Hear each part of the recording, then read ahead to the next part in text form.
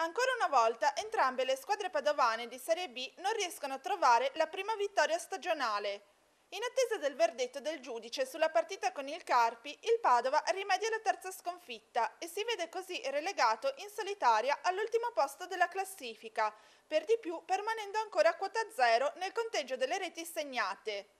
Aumentano invece i penalti fischiati a sfavore e infatti ancora una volta i biancoscudati sono condannati alla sconfitta anche per un rigore dubbio concesso a inizio della ripresa dall'arbitro, in seguito a un contatto in aria tra Santa Croce e Lazzari. L'ennesimo tiro dal dischetto subito non va giù alla dirigenza veneta, tanto da trincerare allenatore e giocatori in un silenzio stampa che durerà fino a domani. I ragazzi mi hanno chiesto insieme all'allenatore di, di non parlare, di stare concentrati,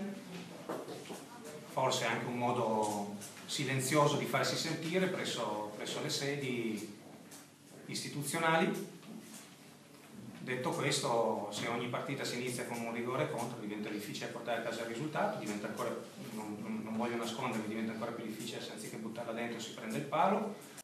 Lattina rinvigorito dal cambio di allenatore, il Cittadella conquista un altro punto che smuove la classifica e lo fa con una prestazione poco convincente, rischiando addirittura il secondo KO del campionato. A salvare i Granata sono le parate del difensore estremo Di Gennaro, che a più riprese nega agli avversari la gioia del gol. Di Gennaro sta diventando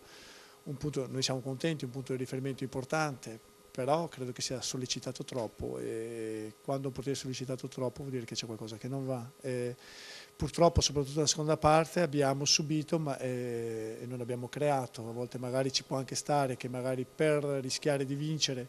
crei delle occasioni importanti e subisci, invece al secondo tempo non abbiamo,